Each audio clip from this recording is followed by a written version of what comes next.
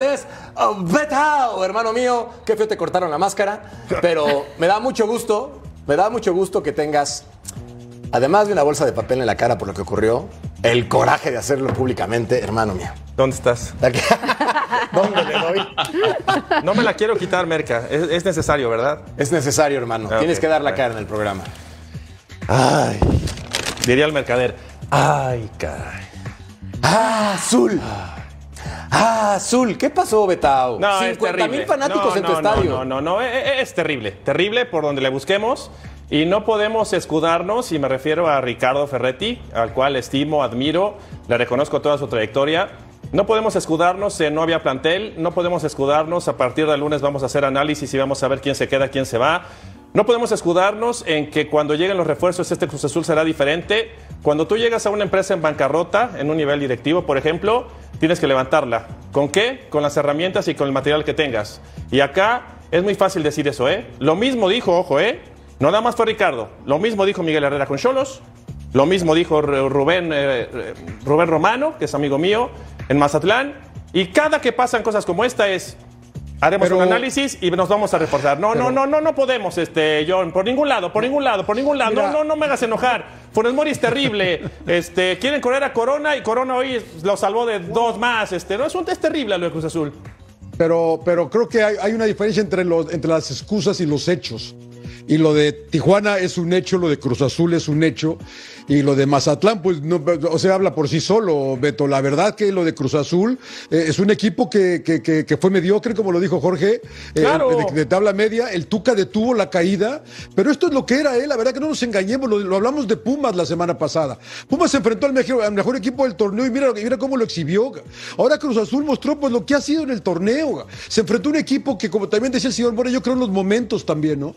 Ray- eh, Atlas viene bien, ha cerrado bien el torneo. Cruz Azul no.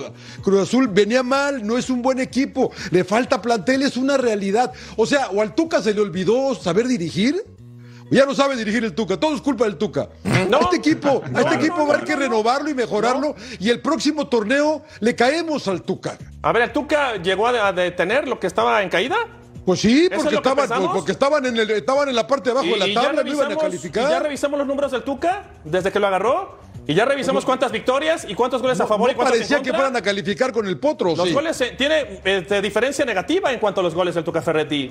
Vamos. Pues sí, porque era un equipo malo, Beto, era un equipo malo. Ah, ah, bueno, entonces hay que reforzarlo bien para que el señor Ferretti no, tenga un o buen no. equipo. ¿A ti te gusta el A ver, plantel de a Cruz ver, Azul? También, también, aunque me llueva, no tengo problema Eh, con ese plantel.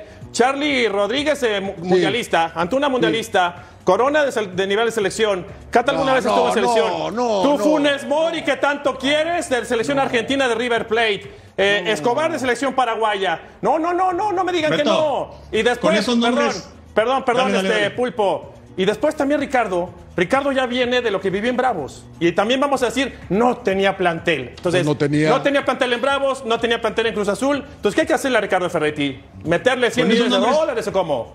Con estos nombres que mencionas, yo creo que también habría que darle responsabilidad a los futbolistas, ¿no? Por ejemplo, Sí. este, Claro. eh, eh, eh, el día de hoy tienen 74% de posesión, lo cual es abismal hoy- hoy en día en el fútbol. Pero no crearon nada, en los manos Claro. a manos se regresaban, llegaban a jugar hasta Funes Mori, que es más peligroso cuando le das la pelota con- para que no sacó un buen lo atacan, o sea... Y después mete a Carneiro en el 67, por ahí Beto 68, si mal no recuerdo, y todos los centros que vienen del Por lado abajo, derecho van rasos. por abajo. En lugar de tirarlos por encima, o sea, entonces eso es tema de los futbolistas también, entender para qué entró Carneiro y a dónde había que nunca vi, nunca vi ya para que también, este, eh, estoy bien enojado, estoy muy enojado. No, nunca, no, no. nunca vi, tus nervios, Betao, no nunca vi, se salva, nunca vi un futbolista de casi dos metros ir mal por arriba. En mi vida. Y nunca tírale un buen centro, y no, Beto. No, no importa. Tírale no, un no, buen sí centro. Tuvo, no, sí tuvo por arriba de cabeza. Tuvo dos. tuvo uno, Y ¿eh? no que puede uno, ser, la Uno que le rozó, que haya uno. jugado en Sao Paulo. Y no puede ser que haya jugado en Europa. Y no puede ser que haya jugado en Arabia. Y que se la tiren por arriba y salta así, mira. 1.94 de estatura, Ah, bueno, hay que mencionarlo. me, me pasé O sea, 6 centímetros, perdón. No puede ser que no vaya bien por allá. Ya, ya no quiero hablar. Ya.